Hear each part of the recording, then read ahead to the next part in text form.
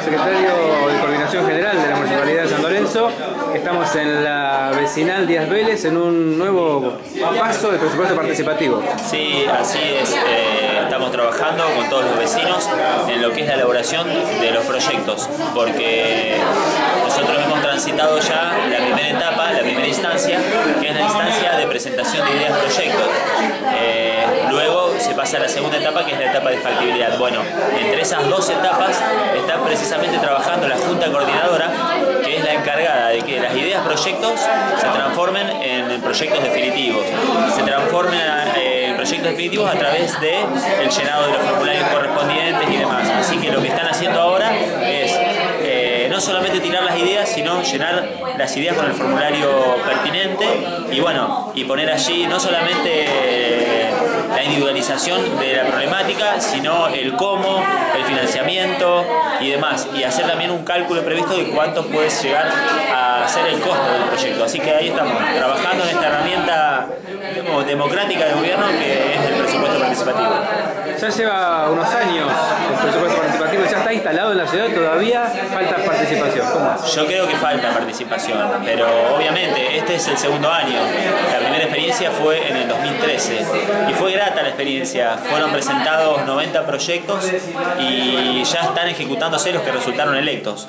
Así que yo creo que falta todavía, pero hemos dado dos pasos, tanto en el 2013 como ahora en el 2014, muy importantes y bueno, hay que trabajar en esto, el vecino tiene que ver la importancia, porque de aquí salen los proyectos a escala barrial para toda la ciudad, para los tres distritos en que está dividido eh, el presupuesto participativo.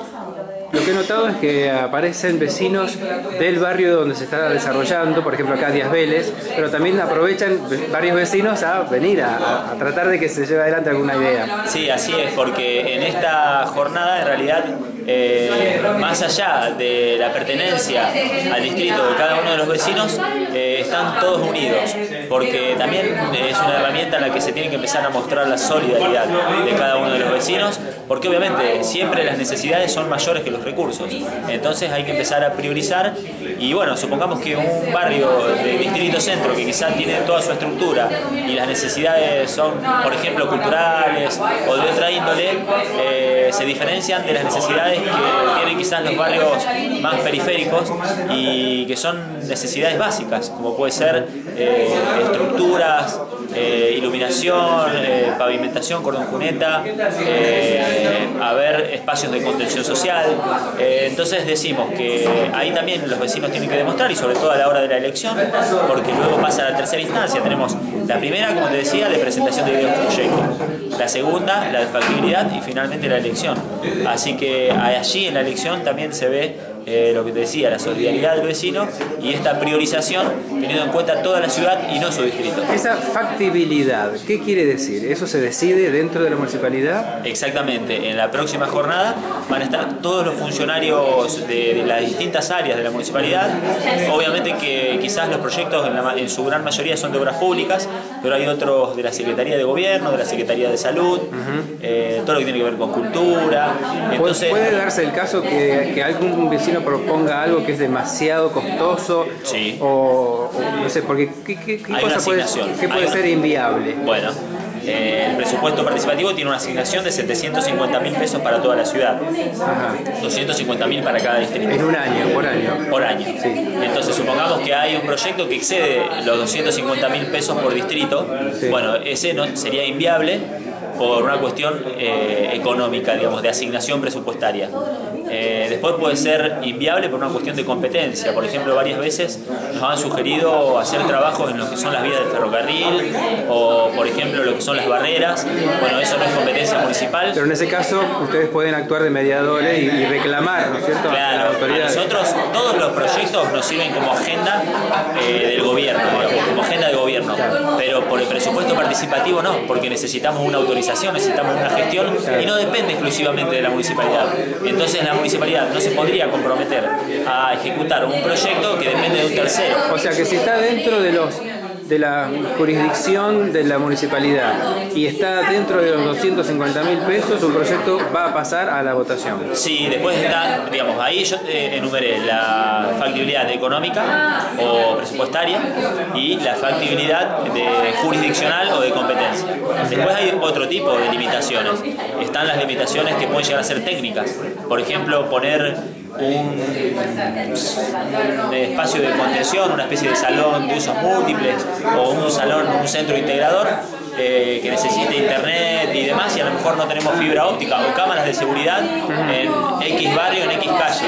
Bueno, ahí puede ser que no haya fibra óptica o por ejemplo hacer... Eh, obras de, cloaca, por ejemplo, que no da la pendiente, o varias cuestiones que en definitiva lo que quiero graficar es que son cuestiones técnicas. Entonces ahí también tenemos una limitación técnica. La limitación puede ser técnica, presupuestaria y bueno, finalmente también puede ser... Pero por lo que charlé con los vecinos, la mayoría de los casos son, son cosas viables, bastante pequeñas, no costosas.